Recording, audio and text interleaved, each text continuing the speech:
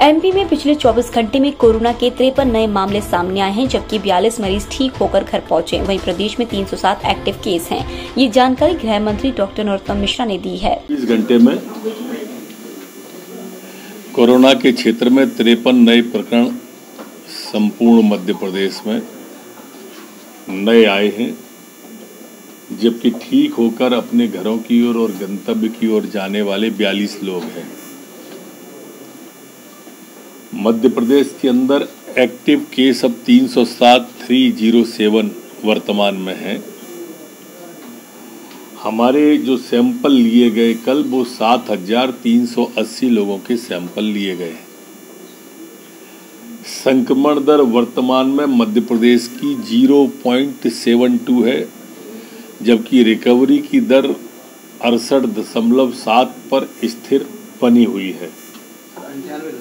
अंठानवे दशमलव सात पर स्थिर बनी हुई है। कांग्रेस के उदयपुर चिंतन शिविर के बाद मध्य प्रदेश कांग्रेस कमेटी में बदलाव शुरू हो गए हैं। प्रदेश कांग्रेस अध्यक्ष और पूर्व मुख्यमंत्री कमलनाथ ने गुरुवार को मध्य प्रदेश कांग्रेस के मीडिया विभाग को भंग कर दिया। हालाँकि मीडिया विभाग के अध्यक्ष जीतू पटवारी ने पहले ही अपनी इच्छा से मीडिया अध्यक्ष पद को छोड़ने की बात कही थी।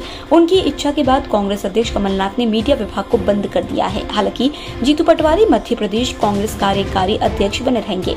इतना ही नहीं, हाल ही में उन्हें भारतीय राष्ट्रीय कांग्रेस में भारत जोड़ो अभियान में बड़ी ज़िम्मेदारी दी गई है। गुरुवार को राजधानी भोपाल में ईडी ने बड़ी छापामार कार्रवाई की। ईडी द्वारा यह छापा पीपल्स ग्रुप के ठिकानों पर मारा गया। पीपल्स ग्रुप में विदेशी फंडिंग को लेकर यह कार्रवाई की गई है। बताया जा रहा है कि इस ग्रुप को भी विदेशों से करोड़ों रुपए की फंडिंग हुई है, जिसके दस्तावेज़ ईडी द्वारा खंगाले गए हैं। गुरुवार को प्रदेश कांग्रेस कार्यालय में संयुक्त पत्रकार वार्ता आयोजित हुई। पत्रकार वार्ता को पूर्व मंत्री एवं वरिष्ठ कांग्रेस विधायक पीसी शर्मा, महिला कांग्रेस की प्रदेश अध्यक्ष विभा पटेल, मीडिया विभाग के उपाध्यक्ष भूपेंद्र गुप्ता ने संयुक्त रूप से संबोधित किया। इस दौरान सभी ने मुख्यमंत्री शिवराज सिंह चौहान द्वारा सड़कों पर निकलकर आंगनबाड़ी के बच्चों के लिए खिलौने एकत्रित करने पर सवालिया निशान खड़े किए। कांग्रेसियों ने संयुक्त रूप से शिवराज सरकार पर हमला बोलते हुए कहा कि मध्य प्रदेश कुपोषित बच्चों के मामले में नंबर एक है और महिला एवं बाल विकास विभाग के पास भरपूर बजट होने के बावजूद भी कुपोषण दूर नहीं हो पा रहा है और सरकार सिर्फ़ मध्य प्रदेश को इवेंट प्रदेश बनाने में लगी है। मुख्यमंत्री जी उसमें गए। मैं आपसे कुछ बहुत महत्वपूर्ण बात साझा करना चाहता हूँ।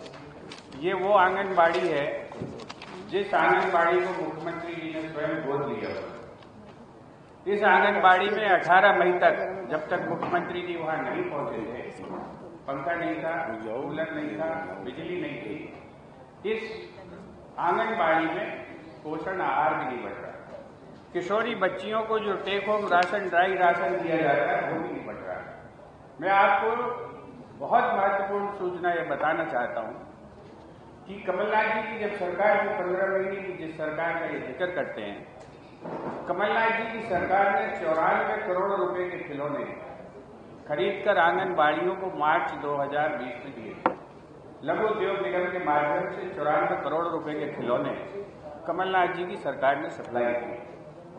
मुख्यमंत्री जी जब ठेले पर मांगी लाल बनकर निकले हैं तो उनको ये बताना चाहिए कि चौरानवे करोड़ रुपए के खिलौने कहाँ गए? ये चौरानवे करोड़ रुपए के खिलौने एक साल में कहाँ गायब हो गए? कि आपको ठेले पर लेकर खिलौने लेने निकलना पड़ रहा है। ये जो चीज़ है, मध्य प्रदेश के जो सबसे महत्वपूर्ण जिला भोपाल, जहाँ पर अठारह सौ बहत्तर आंगनबाड़ियाँ हैं, इन सारी अठारह सौ बहत्तर आंगनबाड़ियों की वही स्थिति है जो सुनहरी बात की है, जिसे मुख्यमंत्री ने खुद गोद लिया आप इन्हें जाकर देख सकते हैं। एक और महत्वपूर्ण मैं आपको आंगनबाड़ी बताना चाहता हूँ। यहाँ से 10 मिनट का रास्ता आप जाकर देख सकते हैं। चार इमली का इलाका है। चार इमली में एक आंगनबाड़ी खोली गई है ऋषि नगर में। ऋषि नगर इस भोपाल का सबसे पॉश एरिया है। वहाँ पर एक टीन शेड के अंदर टाट कच्चे मकान में उसमें चद्दर की छत है। वहाँ पर 112 बच्चे रजिस्टर्ड हैं। 25 बच्चे वहाँ पर आते हैं। वहाँ पर शौचालय नहीं है। चार इमली में। मैं आपको बता रहा हूँ ये मध्य प्रदेश की सूरज शकल है। राजधानी ये राजधानी है। ये कुपोषण की बातें करते हैं। आप जाकर देख सकते हैं ऋषिनगर बहुत दूर नहीं चार इमली उतरेंगे। आप और ये भी गोद लिया हुआ है। इसे एक एनजीओ को गोद दिया है। और वहाँ पर जो है पढ़ाई लिखाई की कोई व्यवस्था नहीं है। अब मैं आपको ये बताना चाहता हूँ कि ये जो नौटंकी हो रही है जन भागीदारी ये क्यों हो रही? मध्य प्रदेश सरकार जब भी कोई बड़ा घोटाला करती है, बड़ी लूट करती है, बड़ा तो बड़ा तमाशा करती है। ताकि उसकी चर्चा ना हो। मैं आपको ये बताना चाहता हूँ कि मैं अहम मुद्दा है आंगनवाड़ी और कुपोषण। और पिछले तीन चार दिनों से जिस तरह से एक नौटंकी हुई है भोपाल शहर के अंदर। कि पहले तो एक आंगनवाड़ी में, जो कि मेरी विधानसभा क्षेत्र की थी, सुनहरी बाग, उसमें मुख्यमंत्री जी जाते हैं। वहाँ बिजली पानी नहीं था। लेकिन क्योंकि मुख्यमंत्री गए, बिजली पानी विभागों ने तुरंत लगा दिया। कलेक्टर साहब की पहल पर। एक कूलर भी लगा दिया। मेरी ही विधानसभा में। बाकी तो मैं डिटेल बताऊँगा, पूरे मध्य प्रदेश क्या हाल है।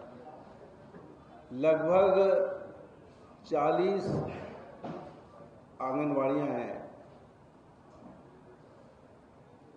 जो सरकारी है। एक में भी बिजली, पानी नहीं है। एक में लगा दिया उन्होंने, उनके जाने की वजह से। और उन आंगनवाड़ियों के लिए पिछले छह आठ महीने से मैं संघर्ष कर रहा हूँ। कि अनुमति दी जाए कि बिजली और पानी यहाँ लगा सकें। ये बच्चे गर्मी के अंदर ठंड में, बरसात में वहाँ रहते हैं। न पंखा है, न बिजली है, न पीने का पानी है। मैं पब्लिक अकाउंट्स कमेटी का भी चेयरमैन हूँ। जब विभाग का साक्ष हुआ, उसमें भी हमने कहा तो उनका बजट नहीं है। मैंने कहा बजट में डालिए। अगर आंगनवाड़ी में हम बिजली, पानी नहीं दे सकते तो बाकी क्या बात करेंगे?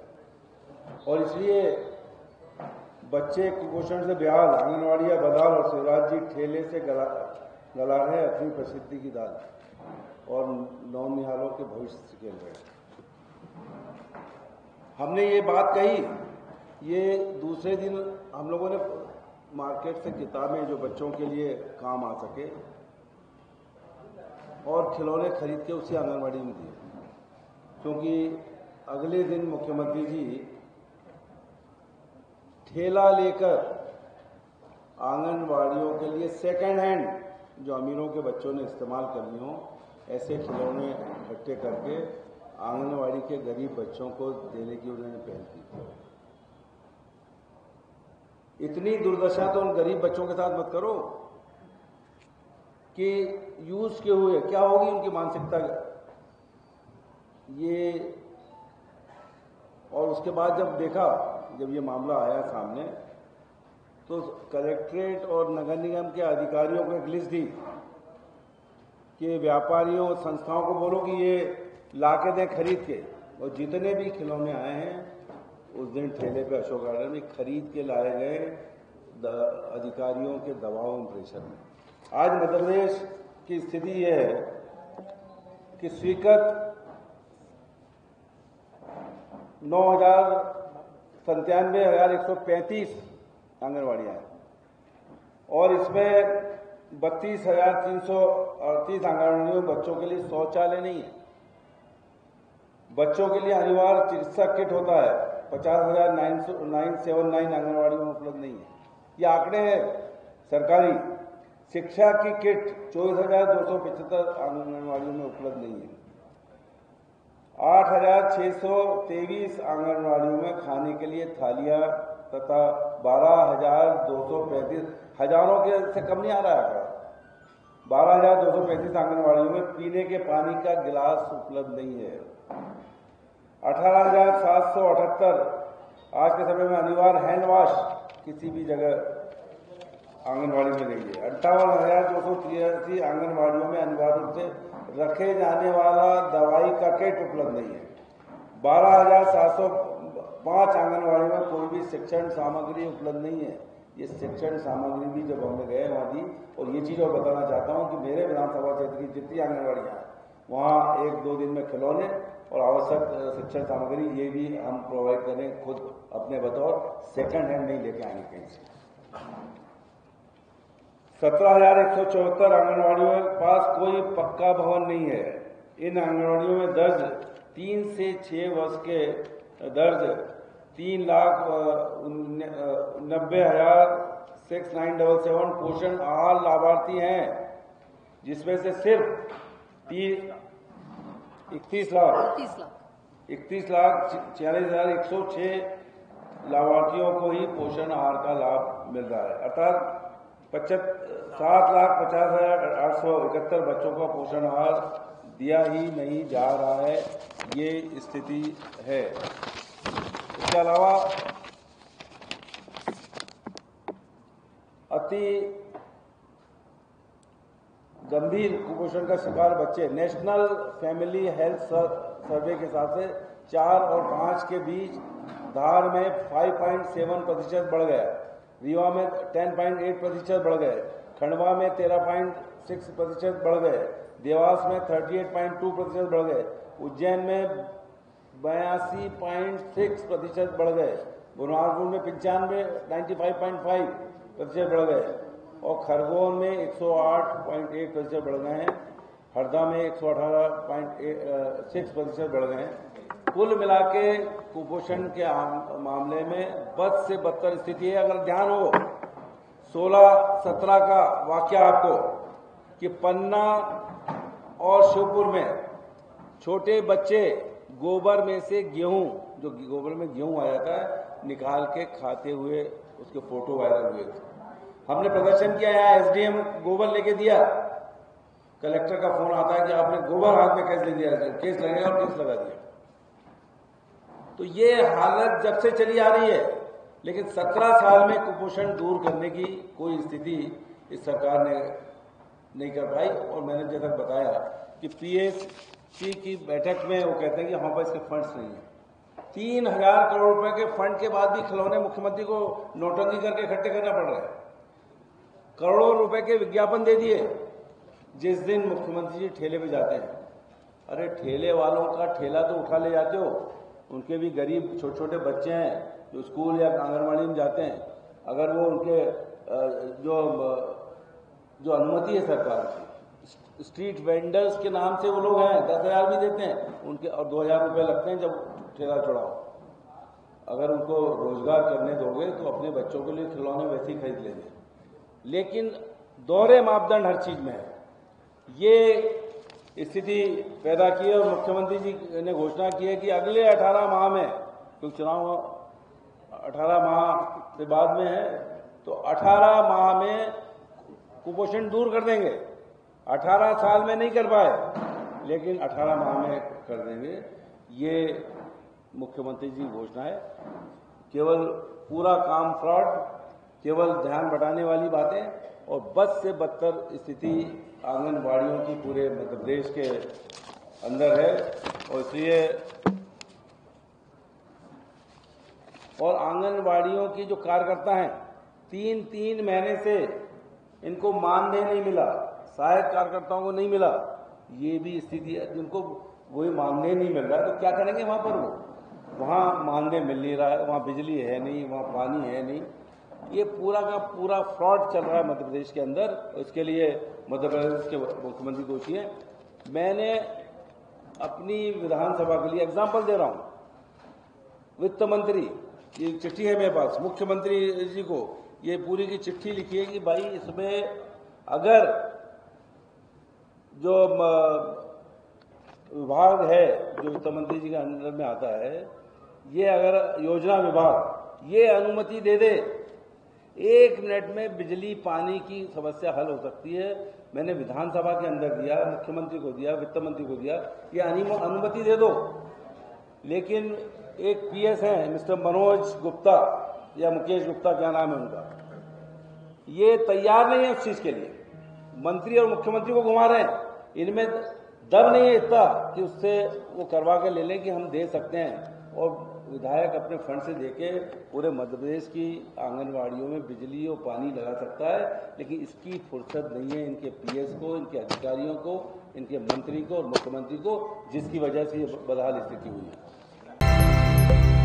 मध्य प्रदेश का सबसे बड़ा कर्मचारी संगठन अधिकारी कर्मचारी संयुक्त समन्वय कल्याण समिति द्वारा 19 सूत्रीय मांगों को लेकर आंदोलन का शंखनाद किया गया है।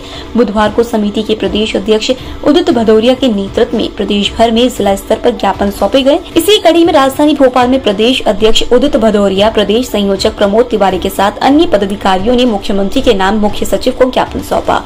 प्रदेश संयोजक प्रमोद तिवारी ने बयान देते हुए बताया कि उनकी प्रमुख मांग पुरानी पेंशन को बहाल करना शेष महँगाई भत्ता शीघ्र प्रदान करने रुकी हुई पदोन्नति प्रक्रिया को चालू करने 20 साल की सेवा पूरी करने वाले कर्मचारियों को पूरी पेंशन देने संविदा कर्मचारियों को नियमित करने सहित कुल उन्नीस सूत्रीय मांगों को लेकर ज्ञापन सौंपा गया। ज्ञापन सौंपा गया है। क्या कुछ मांगे हैं और किसको सौंपा गया है और क्या उम्मीद है?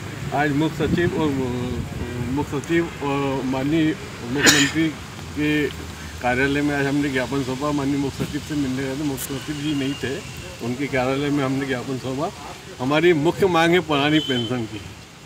पुरानी पेंशन बहाली के लिए हम लोग आखिरी दम तक लड़ेंगे, चाहे कुछ भी हो। पूरे मध्य प्रदेश नहीं, पूरे हिंदुस्तान में पुरानी पेंशन दिलवा के रहेंगे, चाहे हमें कहीं तक भी जाना पड़े, किसी भी हद तक जाना पड़े। मेन मांग हमारी ये है पुरानी पेंशन बहाली की। और दूसरी मांग हमारी है पदोन्नति की। पदोन्नति ने 2016 से पदोन्नति बंद सरकार सरकार ने बंद कर रखी है। उसका कोई दूसरा एक तरीका निकाल के सरकार पदोन्नति चालू करे। ईएमएस टीवी के यूट्यूब चैनल को सब्सक्राइब करें और बेल आइकन दबाएँ, साथ ही ईएमएस न्यूज़ ऐप डाउनलोड करें।